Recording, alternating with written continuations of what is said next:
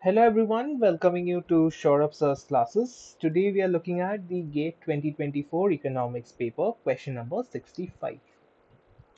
Consider a duopoly market where firm 1 and firm 2 produce differentiated products such that the demand function for each firm is given in this manner.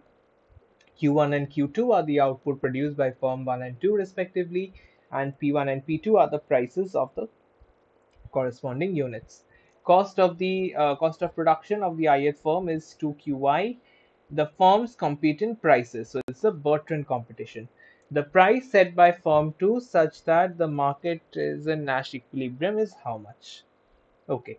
So first let us write down the profit expressions. So the pi one is pq1 minus c1 so p1 into c1 so Q1 is 18 minus P1 plus P2 minus 2 Q1 which is again 18 minus P1 plus P2. So that is P1 minus 2 into 18 minus P1 plus P2 and the profit expression for firm 2 will be price set by firm 2 into quantity minus C2.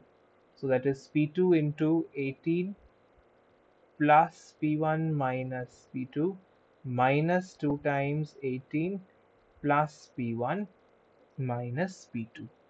So that is P2 minus 2 18 plus P1 minus P2. So for firm 1 differentiate pi 1 with respect to p1 and set it equals to 0. So that is 18 minus p1 plus p2 plus p1 minus 2 into minus 1 is equals to 0. So this is your equation 1. For form 2,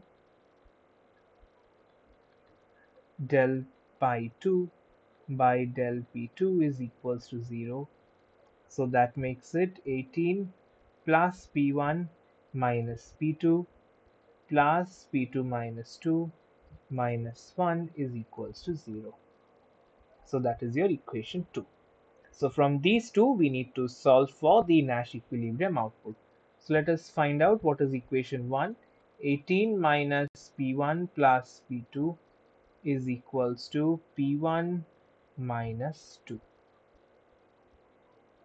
So that means 1820 and that will be 2p1 minus p2 and from equation 2 this is 18 minus plus p1 minus p2 is equals to p2 minus 2 so that is 20 is equals to 2p2 minus p1 so that means combining. Since the LHS is the same.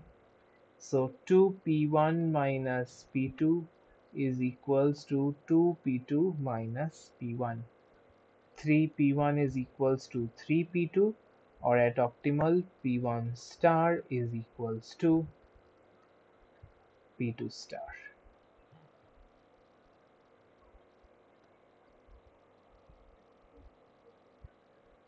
okay?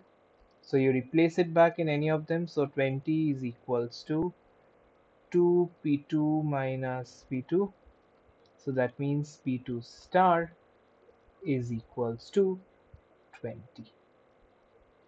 so the optimal price set by firm 2 is 20 that's your answer for question number 65 thank you